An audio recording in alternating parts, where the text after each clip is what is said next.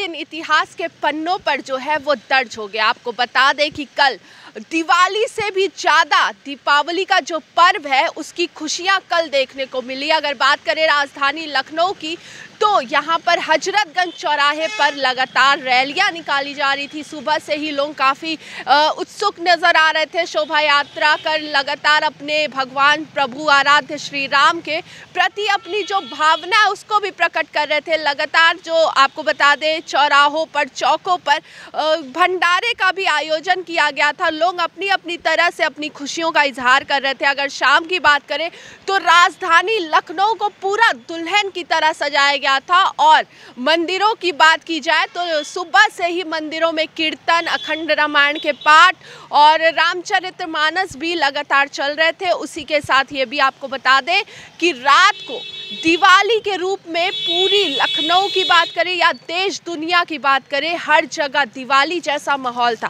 प्रधानमंत्री के आवाहन के बाद लोगों ने राम दिया भी जलाया, राम जी के नाम पर एक एक दिया जलाया और वहीं प्रधानमंत्री नरेंद्र मोदी ने पहले ही लोगों को कहा था कि हमारे आराध्य, हमारे प्रभु श्री राम आ रहे तो हर घर में करीब पाँच दिए भगवान के नाम पर ज़रूर जलाए।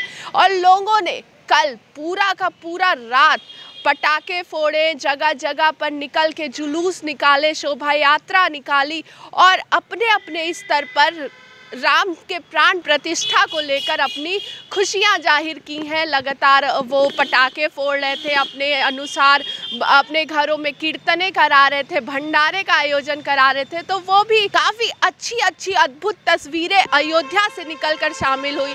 आ, सामने आई है अगर बात करें बॉलीवुड की इंडस्ट्री की तो बॉलीवुड इंडस्ट्री से भी काफ़ी लोग रामलला की प्राण प्रतिष्ठा में देखे गए हैं। अगर बात करें रणदीप हुड्डा की तो वो भी अपनी पत्नी के साथ रामलला की प्राण प्रतिष्ठा के दौरान वहाँ नज़र आए कंगना रनौत का एक्साइटमेंट लेवल जो था, वो काफ़ी हाई देखा गया। आलिया भट्ट, रणबीर कपूर की बात करें तो वो भी सुबह ही मुंबई एयरपोर्ट से निकलते हुए दिखाई दिए और राम मंदिर के लिए वो आए, राम मंदिर की प्राण प्रतिष्ठा में शामिल हुए। मुकेश अंबानी की बात करें तो वो साप परिवार प्राण प्रतिष्ठा में शामिल हुए और अपने अपने स्तर पर सबने बॉलीवुड इंडस्ट्रीज़ की बात करें या फिर साउथ इंडस्ट्री की बात करें, बिजनेसमैन की बात करें सबने अपने अपने स्तर पर राम मंदिर की प्राण प्रतिष्ठा को लेकर अपना जो एक्साइटमेंट लेवल था वो दिखाया है।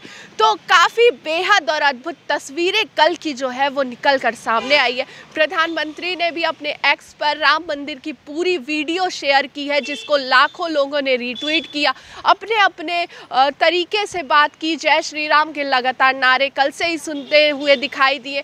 तो जो कल का दिवाली था, वो असल दिवाली कल दिखाई दी। कहते भी है कि जब राम लला चौदह वर्ष का वनवास काटकर अयोध्या नगरी में वापस आए थे, तब लोगों ने मिट्टी के दिए जलाकर उनका स्वागत किया था। तो कल भी पूरा दीपावली जैसा माहौल था लोगों का ये मानना था कि 500 वर्षों बाद हमारे आराध्य, हमारे प्रभु श्री राम अपने अयोध्या नगरी में, अपने भव्य मंदिर में विराजमान हो रहे हैं। तो हम अपने स्तर से अपनी खुशियाँ मना रहे हैं, अपनी दीपावली का पर्व मना रहे हैं।